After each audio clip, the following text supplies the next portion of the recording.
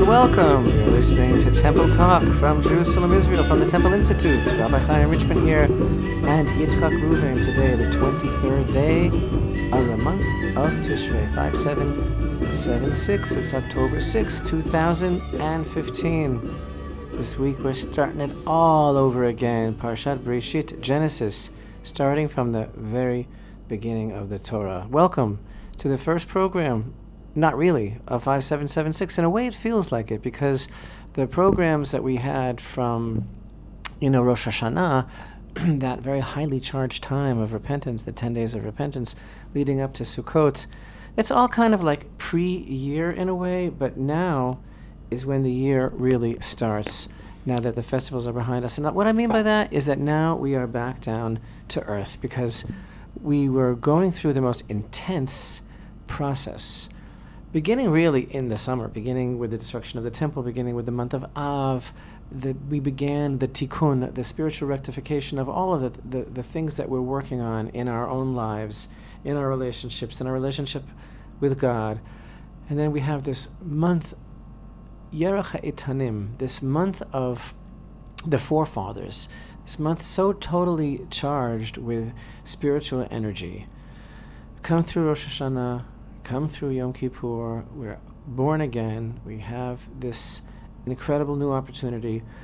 We sit in the sukkah for seven days. It is reminiscent of two things. It's reminiscent of the booths that we that we sat in when we were taken out of Egypt by the Almighty. It's reminiscent of the clouds of glory that that uh, were actually implanted over those booths.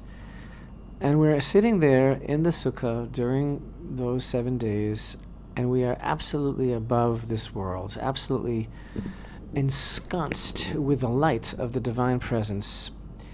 And then, of course, at the end of Sukkot, there's one day which is mentioned in Leviticus 23, of course. It's called Shmini Atzeret. It is the eighth day of assembly, and it's not really related to Sukkot. It's a completely different holiday. It's a day of just you know what?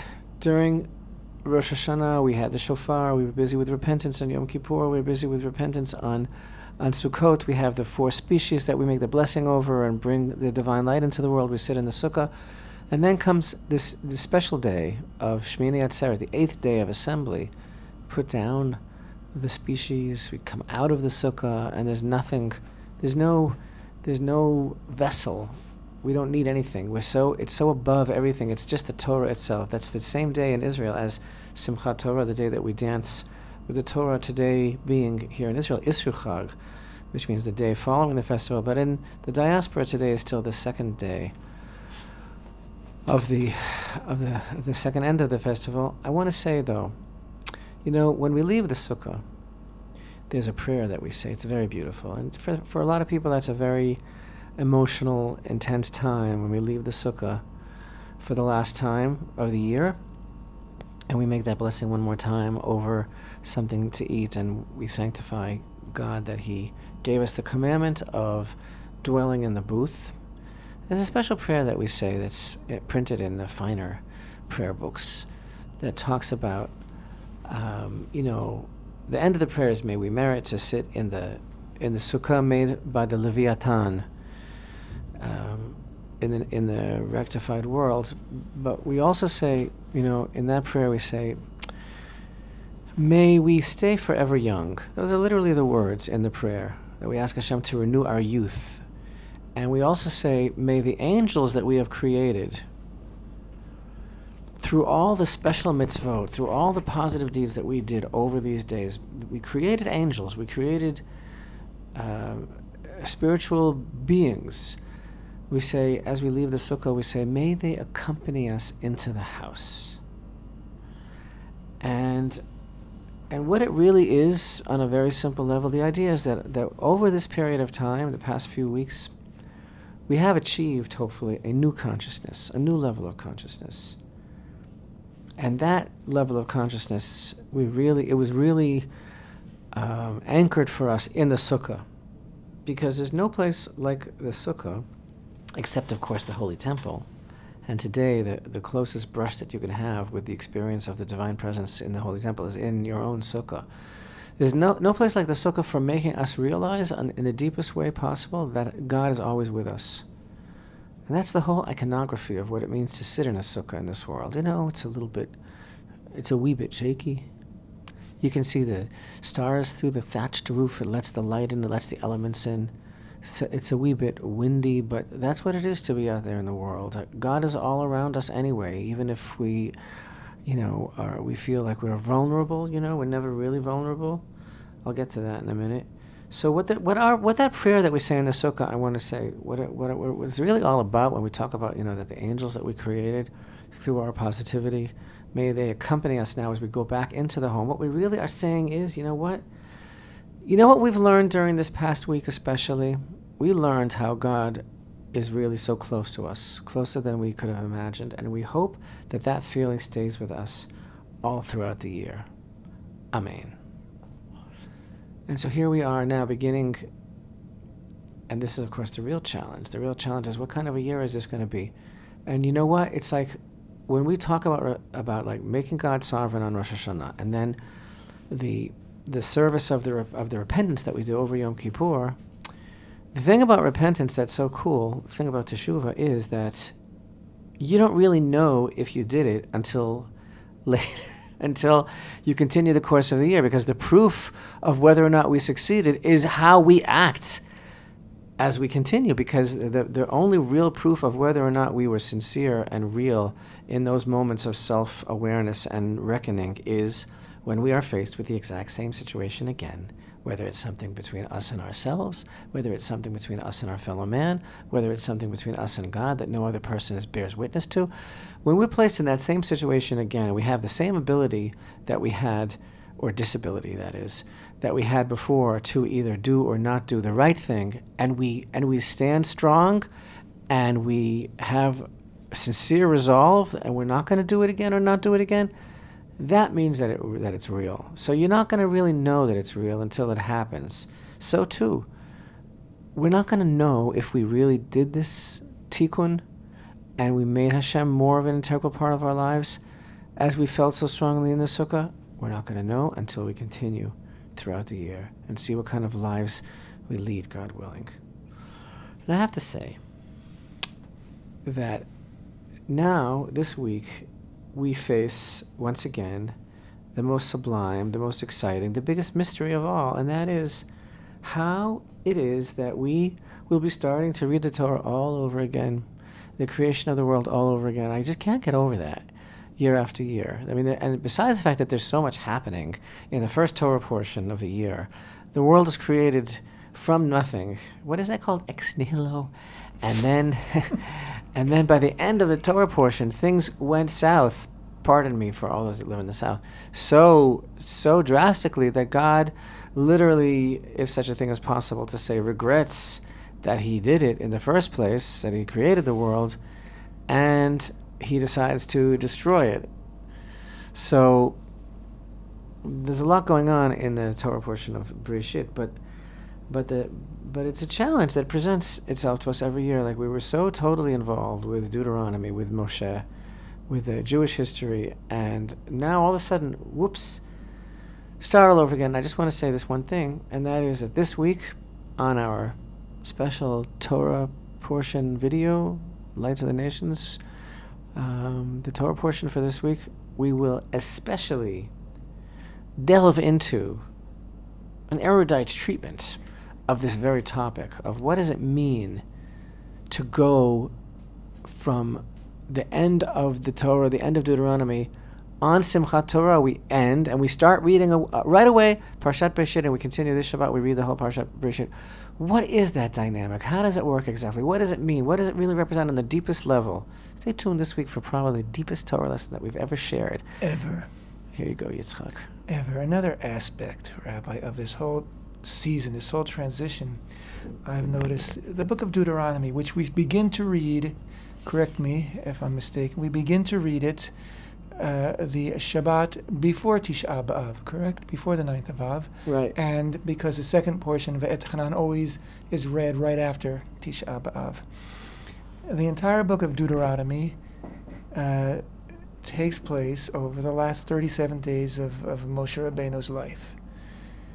Um, and we begin reading it then, uh, at the beginning of the month of Av, and we've read it throughout Av, throughout Elul, and uh, throughout the first three weeks of Tishrei.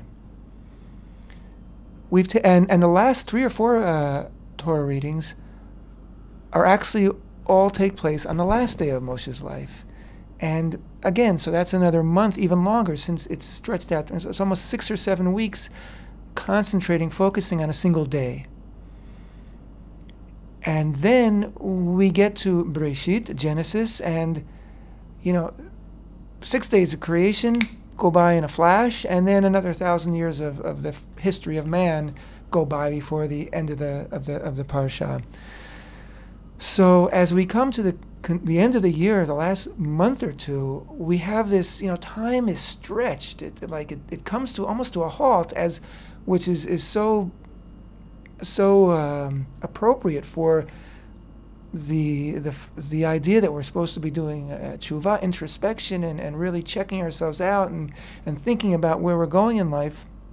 That time comes, it, it goes by so slowly in a way, as is paralleled by the by the by the Torah readings that you know we almost come to a standstill, and you know that last uh, reading of uh, Zot Bracha. You know, I've been waiting. I think almost three weeks to to read it. You know, it's like we keep reading on on Shabbat afternoon when you read the beginning portion of the next week's reading. We keep doing it over and over again, almost like Groundhog Day, because it's times comes comes to a standstill almost as we are in this intense period of of repentance, of rejuvenation, of, of recalibration, of bringing on the new year. And then, just as on Shmini Atzeret, the eighth day, which is so beautiful that we read of the first seven days of creation, six days, and then the seventh day, which is Shabbat, uh, that's what we read uh, from from the from the portion of Bereshit on Shmini Atzeret, and then we read about the the the offerings of the eighth day. So we read the first seven days and then the eighth day. It just beautifully flows into the eighth day. That you know we come out in the new year after this above time, above space existence, especially in the sukkah. We come out running, you know, full speed ahead. You any preparations you wanted to make, you had to you had to do already. Like now's not the time to like say, wait a minute, I'm not ready yet. We're going full speed ahead. Six days of creation, Shabbat, and then a thousand years of the first generations of man. Whew, you know, you hardly catch your breath. You know, everybody knows that this whole Sukkot thing, it's called Zman Simchatenu. It is called the time of our joy.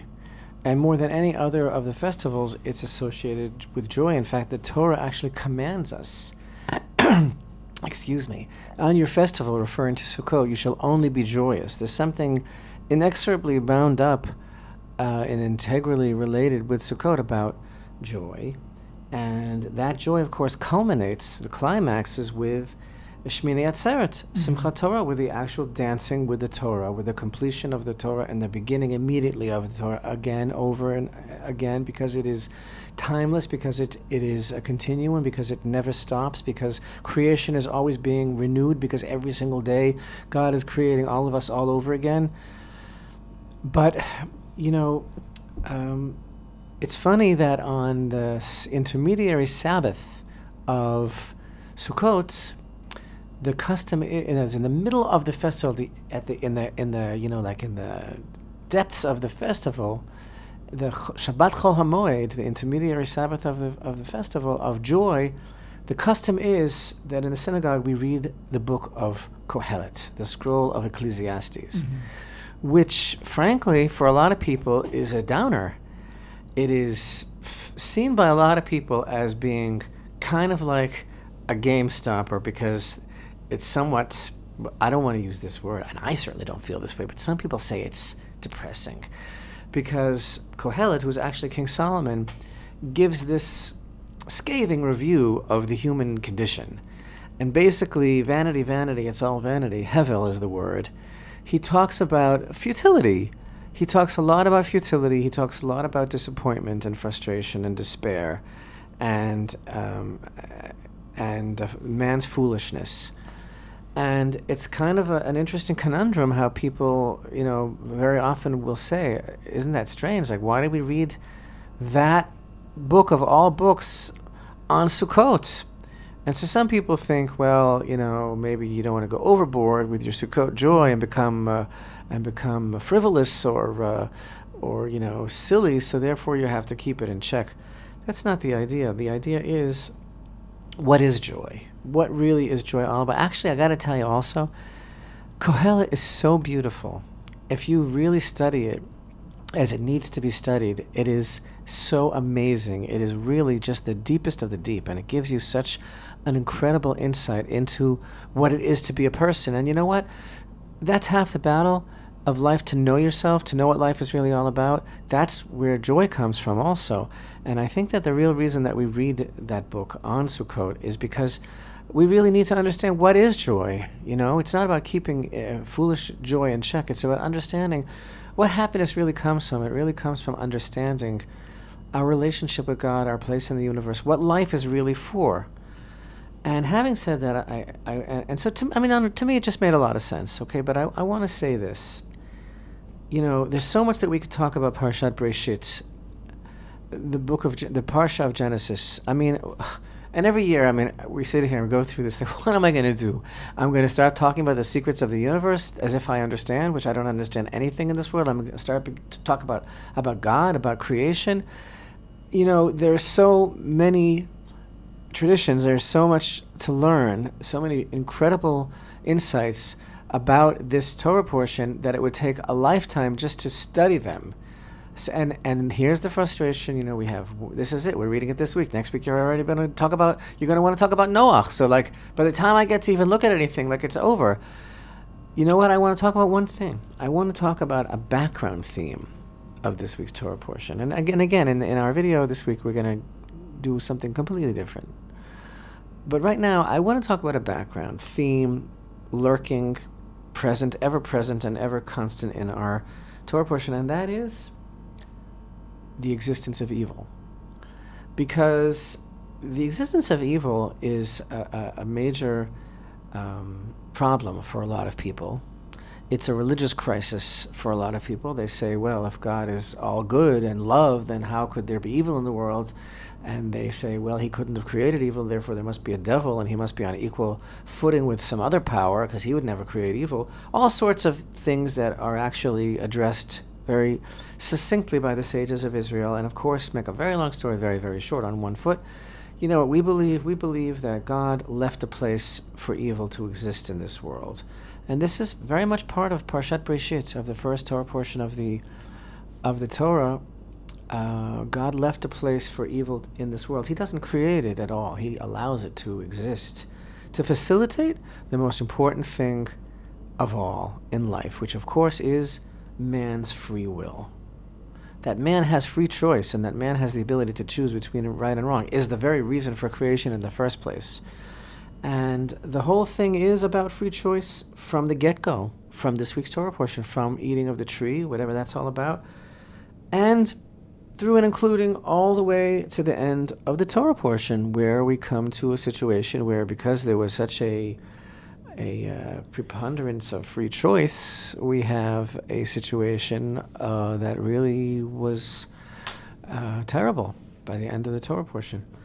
And you know, the most beautiful story uh, of the world. First, first, first, let me say this. You know, in, in the Pirkei de Rabbi Eliezer, Yitzchak, in that mm-hmm. Sefer, that ancient work of the great Rabbi Eliezer that we love so much, he mentions there that um, Teshuvah was created before the world was created, and that God saw in the blueprints that the world wouldn't exist. Um, and so first he kind of made like a, as an underpinning of the world, Teshuvah, the concept of repentance. And then he saw that the world w- would, would exist after, all, would be able to exist. And I think what that is intimating is that a man is a problematic creature, fallible, and therefore God hewed into the very fabric of creation from the very beginning the ability for man to uh, reset button. Hmm? A reset button. Yeah, yeah, yeah. To return exactly. You know the most beautiful story in the world about the two holy brothers, Reb Zushya and Reb Elimelech, Reb Zushya and Reb Elimelech of Lezhinsk, these two great tzaddikim that they that they were very very uh, amazingly holy. And Rabbi Elimelech asked his brother, he said, these great Hasidic masters, he said to his brother, Look, I'm nobody. I understand about me, but what about you? How did you allow this to happen?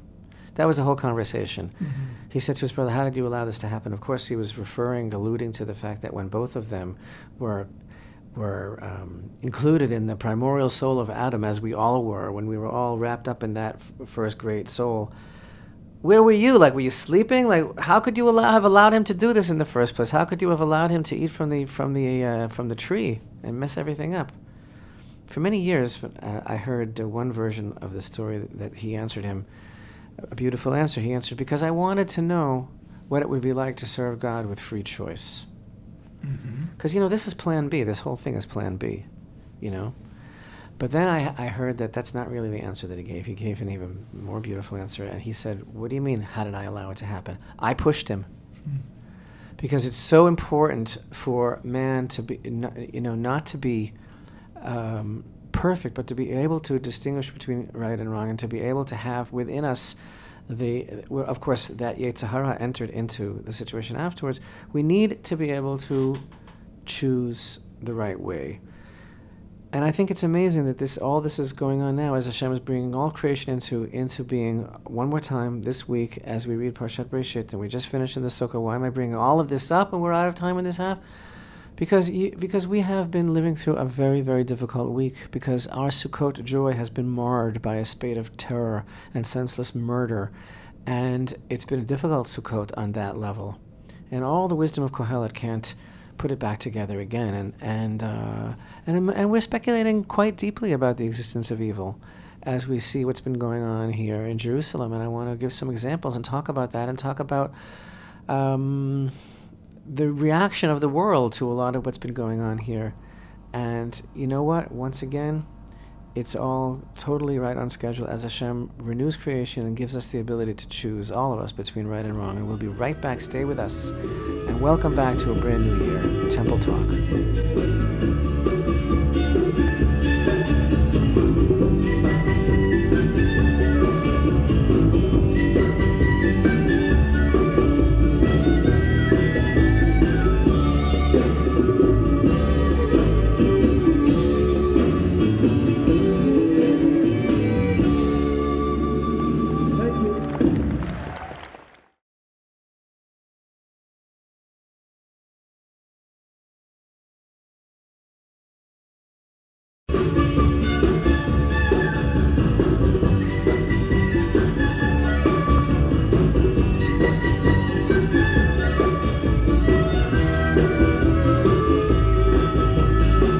Shalom and welcome back to Temple Talk. Today, 23rd day of the month of Tishrei, 5776.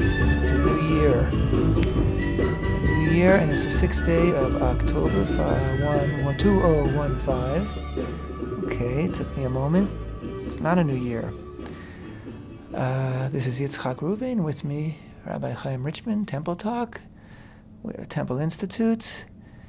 And Rabbi has been talking all about uh, Parshat Bereshit, all about Sukkot and the joy of the entire holiday season, especially the joy of Sukkot, in which we are commanded to be joyful. And I've even heard that if you succeed in being joyful on Sukkot, then you will have joy throughout the upcoming year.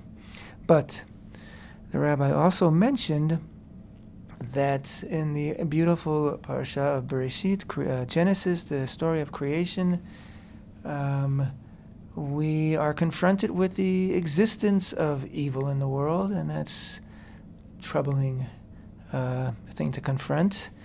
And but Rabbi mentioned, I believe that it's necessary that we have evil in the world so that man can have free choice, and that's what creation's all about. Not that it's necessary that we have evil, it's necessary that there is a place for it to and exist. necessary that there's a place for evil to exist in the world. And then And it can exist. the rabbi mentioned that uh, even through our joy-filled Sukkot, there was much evil being uh, perpetrated against the Jewish people here in the land of Israel. Uh, terror, murder, murderous attacks. Uh, just to um, Uh, I mean, many attacks occurred. There were two deadly attacks which left four people dead. Uh, this past Thursday evening, a couple was traveling in a northern Shomron, northern Samaria, and they were ambushed by terrorists uh, who shot and killed the husband and wife. Uh, You're talking about Rabbi Eitam Henkin, Henkin Henkin and, his, wife. and uh, their four young children, uh, spanning the age of four months to nine years, were in the back seat of the car. Only by a miracle, They have six children. Four were in the uh, car. only by a miracle were those children spared. And then um, Saturday nights, uh, as uh, a couple and their inf- and their infant and their uh, in a baby carriage were walking through the old city of Jerusalem to go to the Hoshana Rabbah uh, prayers in the uh, Western Wall Plaza, were ambushed by a teenage terrorist with a knife who uh, began attacking them. Another Jewish man uh, ran up to try to, to save them, and he himself, he and the, the 22 year old f- husband and father of that infant were killed. And um, I'd just like to add that the, the uh, wife uh, was very seriously wounded, and she was able to run to uh, 50 meters where there were policemen to get their help. And she said the next day when she came out of the operating room that she was running. She had a, a knife in her back In her neck. and, she, and her neck, and she ran up to the closest people who were Arabs, who were storekeepers, who were drinking Coca-Cola while they watched. And one person actually filmed the whole thing, didn't stop it, but filmed it, and they spat at her and laughed, Laughed at at her, her? and said she's next. Listen, when when we talk about the nature of evil, when we talk about evil, well, at least when I do, I'm generally talking about Islamic terror. And uh, in this case, I also want to talk about the reaction of others to Islamic terror. Okay, so first of all, the Henkin again, this man, a beautiful man, great Torah scholar. By the way, uh, not that it makes any difference because every time anybody is murdered, there is a part of us that is killed. Um, it is, however, a very small world, and personal connections always drive the um, drive up the angst meter, the trauma meter, and the uh, meter of um, just how everything is is perceived. Again, it doesn't really make a difference. We're all in the same boat. Everyone that lives in this land pays a price. Everyone that lives in this land pays a price for what we are doing, for the effort that we are making to bring Hashem's sovereignty into the world. And the price that we pay is with the integrity that we live and how far we are willing to go for for Hashem's name. But the fact is, this man was a classmate of one of my sons.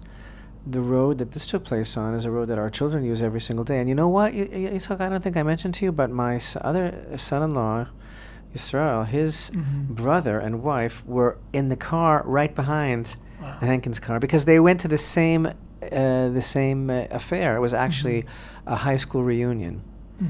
and they also had gone, and they were right behind them. So, um, the the murder that you just mentioned now. Okay, okay. So first of all, okay, the Henkins had six children. Four of them were in the car.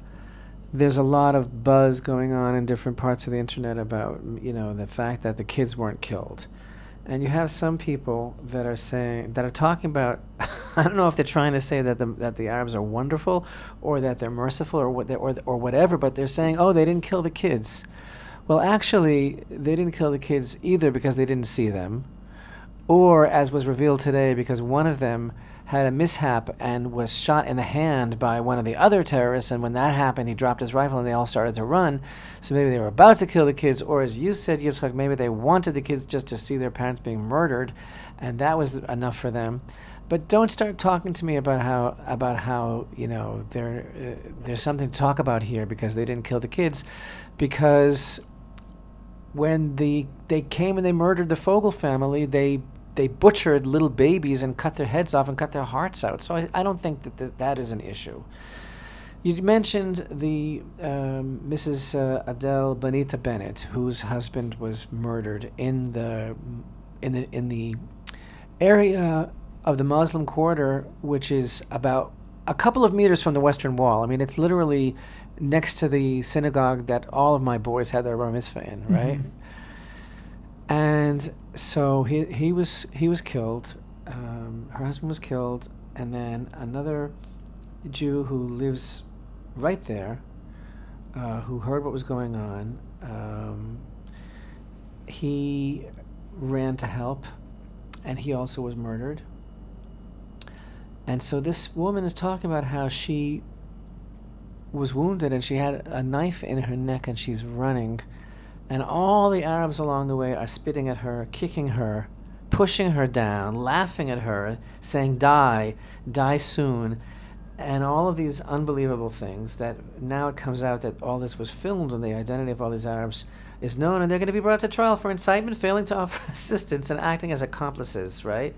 That would be new if that really happens um, all these Arabs who were hoping for her, for her quick death, who saw all of this, all of these Arab storekeepers that all all our tourist friends stop and, and like you said, buy their Coca Cola, and all this kind of thing. By the way, another another major story in the news today here in Israel is this expose that the PA government has been paying convicted Hamas arch terrorists sal- monthly salaries for years. Terrorists who are in prison, who are Hamas masterminds, who have planned some of the most horrible uh, um, suicide bombings here in Israel have been paid tens uh, of thousands of dollars um, by the Palestinian Authority, right? Your tax money, people. Your and tax so money. in the meantime, you know, Abbas, the head of the PA, uh, went and said that um, Israel killed these two in cold blood killed these two young Palestinians. Right. BBC reported it that way. Right, referring to the, the perpetrators of these hor- horrendous murders. Abbas stands up in front of the whole world and says that he needs he needs uh, the world to come to his aid because Israel is going on killing young Palestinian men. Right. The BBC gives the following headline. The headline is Palestinian shot dead in aftermath of Jerusalem killings and and it's like Jerusalem killed people, right? Mm-hmm. So it's called Jerusalem kill, killings. The Palestinian was shot dead. It is just so absolutely outrageous. If you want to talk about sick ideas that are floating around, uh, another one is the idea that all this violence is caused by Jews wanting to pray in the Temple Mount, which is a total inversion of reality. Where for more than a year, Jews on the Temple Mount have been subject to brutal verbal and physical attacks without any intervention by the police, and we have been shouting at the top of our lungs to anyone, and not just shouting, but meeting with members of the government for many months and saying, This is what's happening. It's out of control. It's going to spread. Someone's going to be killed. And now all of a sudden, journalists are waking up and said, Wait a minute. Let's take this and turn it inside out and report it all backwards.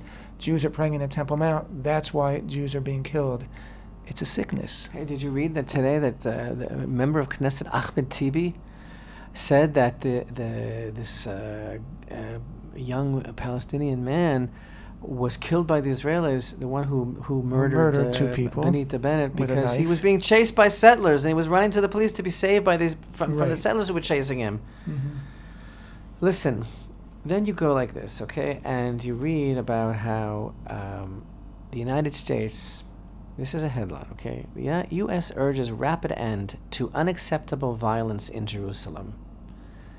John Kerry says, restoring calm and returning to status quo will minimize the instinct for escalation. These people have these words as if mm-hmm. they're supposed to make sense. Mm-hmm. You know, they talk about how uh, I forgot what country. Oh, oh, that woman with the stringy, uh, dirty blonde hair, uh, whose name I can't pronounce, who's the the uh, the, the the, U, the EU. Um, oh right, yeah, I know. Linda Margalunga. Yeah. I don't know. Something like that. I'm not yeah. going to bother to read her name correctly. Anyway, she said that the that the the murder of these Jews in Jerusalem is not helpful to the peace process. Not helpful. And that is and that this Very is why they have to have a state. You see, because if you give them a state, they'll stop killing us. But what do you want from them? You know, they want a state, and so therefore they're killing us. So the Secretary of State, He urged Israel and the Palestinians on Monday to demonstrate calm and avoid further escalation. What does that mean? That Jews shouldn't walk in the streets? I guess that's the escalation is caused by Jews walking around because when they walk around, they get killed. So he's, here's what he says Regarding Jerusalem, it is absolutely unacceptable on either side to have violence resorted to as a solution. And I would caution everybody to be calm not to escalate the situation and to deal with this in a way that can find quick way back to the full restoration of the status quo where the chief administration is in the hands of the government of Jordan and King Abdallah. He's talking about the Temple Mount here, who is the custodian, he said, referring to the Temple Mount compound where Al Aqsa is located. And it is very important to maintain a sense of calm that will minimize the instinct for escalation. This stuff you can't make up. And the reason I that this is so outrageous, right? I mean, we're talking about the mother, Miriam Gal, the mother of Banita's wife Adele, who spoke at the funeral to the chief rabbi Lau about what her daughter had told her after the incident. She, he, she says, My daughter tried to run away with a knife in her neck. She tried to escape, but they, the Palestinians at the scene, wouldn't let her and shouted at her, Hopefully you'll die too. You know what? For John Kerry to say, you know, that he's worried about escalation and both sides have to be careful. Either this stuff is hopelessly, hopelessly, hopelessly naive, which is just, you know, ad nauseum to the point of, of it of it just being silly, or it is tremendously calculated and tremendously evil. And evil. I unfortunately would Choose have to would have to lean towards this latter interpretation. It fits their ideology. Anybody who lives here, or who, by the way, now lives anywhere and is faced with Islamic terror, which you're not allowed to name, right? I mean, I mean, when the kid in uh, I forgot what state it was, uh, Ahmed uh, made his clock that looked like a bomb, and brought it to school, and the teachers got upset about it then the President of the United States tweeted, "Cool hey, clock, cool Ahmed. Would you like to bring it to the White House? You're what makes America great. bring it to the White House, please. Right? You're what makes America great. Okay, it was the the kid was wrongly accused, but what is what is going on here? Right? The President of the United States tweeted Ahmed that he shouldn't feel bad about his clock. Did the President of the United States tweet the six Henkin orphans? That he will stand up to the promises that he made that the world is going to be a safer world? I don't think so. I don't think he can because, like you just said, Yitzchak, the agenda that these people have is very, very specific, very, very particular, and it's got to fit. And Israel is in the way, right? Israel is in the way when it comes to Iran. Israel is in the way when it comes to everything. Just like, if I may say, the the Native Americans were in the way of American progress especially following the, the post Civil War years when the West had to be opened up, railroads had, had, had, had to be opened up, and the safe passage had to be ensured for the gold prospectors. And all the men, women, and children of all the Native American tribes had to be killed. And, and the millions of bisons had to be made extinct so that they would have nothing to survive from. Because America had its priorities, and therefore America had to lie, cheat, steal, and murder all of the Native Americans so that um, the American dream could be fulfilled. And so too now America has its dream of, of uh, whatever it is. And Israel is like the only thing standing in the way. And that dream is being facilitated by, by uh, the rise of Islam, whether it's the Islamic State or the Islamic Republic of Iran or the Islam that's now, that's now uh, taking over every continent in the world. And so here we are living in this land that God gave us and being the people that we are, trying to be the best people that we can be, bringing all this light to the world. And it's a very big problem. And therefore, you know, let me read it to you again. He says, John Kerry says, that he urges rapid and to unacceptable violence in Jerusalem as if it's coming from both sides. And so when I talk about Parshat Breshit, when I talk about the creation of the world and how everything is constantly being renewed, which is a major lesson of Rosh Hashanah and Yom Kippur and Sukkot, we're going to be talking about in tremendous, never before revealed detail in this week's video lesson. And Hashem creating the world all over again and giving us the opportunity to participate in the unfolding universe and choosing between right and wrong. Whose side are you on? Whose side are you on? When you, when, if you, if you understand anything about Islam. We've been saying it all the time. If you understand what the motivation is. If you do you did you hear what we just told you? It's a film. You can see the film if you if you have the the, the courage and if you have the, the, the stamina and the emotional stability to watch the, the woman describing how she was running after she saw her husband murdered, she has a, neck, a knife in her neck, and how all of these Arab passerbys and all you tourists who come to Jerusalem and walk through the old city and, and, and buy your stupid olive wood camels and all of these things, right? And you and, and all of these men who who who haggle with you about about about how much an item is. These are the ones that are looking at her bleeding to death, her dead husband on the on the floor, guffawing, laughing, pushing her, taunting her, kicking her. And then John Kerry comes along and says that the, the violence is unacceptable from both sides.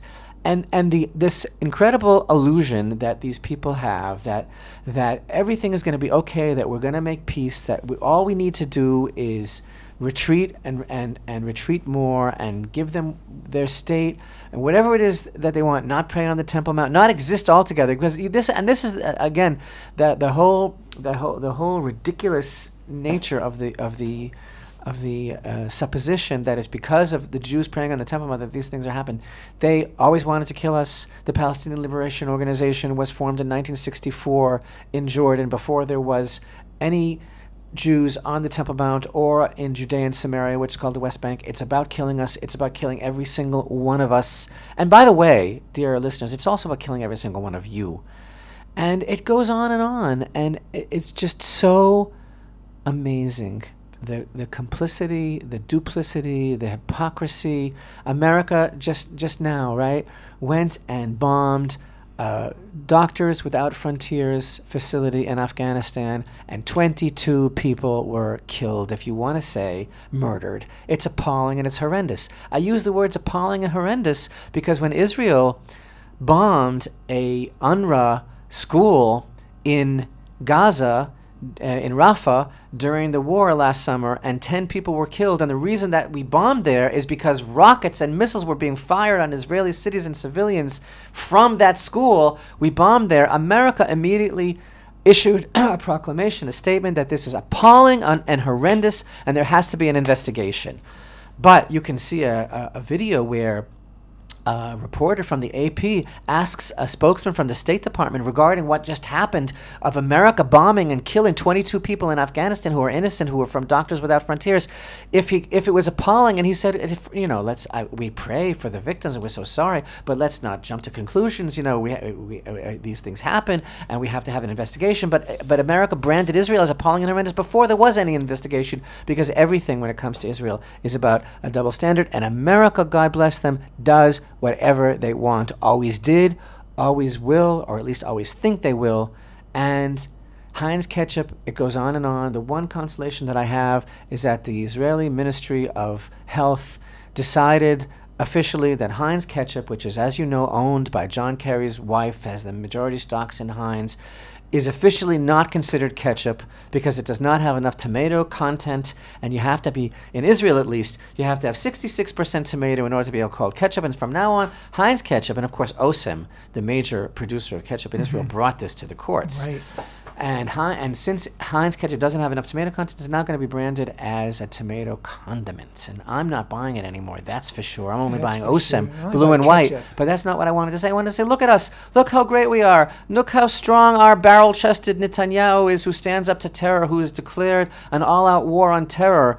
You know, by golly, maybe Jews are open targets in the streets. Maybe the Palestinians, with CIA training and United States provided guns, kill us, but we will not accept ketchup that's less than 66% tomato content. So don't start telling me about how strong Israel is or how weak. He we, also, we he also declared in the, in the UN last week that we will not succumb to Ab- Abbas's threats that uh, Oslo is over and finished and done with, but we will continue to strive for the two-state solution. Yeah, don't Uh, bring where up is this coming Netanyahu in the UN to me because Netanyahu in the U in the UN uh, really wowed them by saying Am Yisrael Chai. But the very same week, when a Jew said Am Yisrael Chai on the Temple Mount, he was removed. He was arrested for saying I Am Yisrael Chai. So the problem By- all begins with Netanyahu's who orders, we are, course. what what the orders are. what our self-image is, what our priority is, who, what our goal in this world is, and that's all about these days that we've just been through of Sukkot and Shmini Atzeret and Yom Kippur, and now beginning the Torah again. Are we going to stand up for God's honor in this world? That's what Israel is all about. It's not about demanding that Heinz ketchup isn't called ketchup anymore, or we take it off the shelves. I don't care about that, but I do care about about Kerry telling us that the violence has to stop. You're right, it has to stop, and we have to stop it. But it, it, it is not equivalent. And this heinous, horrible, appalling, disgusting sin of moral equivalency, that's the problem that America has. This moral equivalency, because we are up against a scourge, against a bloody, bloodthirsty monster that could look at a woman dying in the street and kick her and spit at her. That's what's happening here, and that's what we have to face. And that's the problem of moral equivalency that I think is addressed in, in this week's Parsha of Bereshit. And that is the challenge of mankind. Thanks for being with us. We've kicked off this new year to quite a raucous start. We'll be back next week. Temple Talk.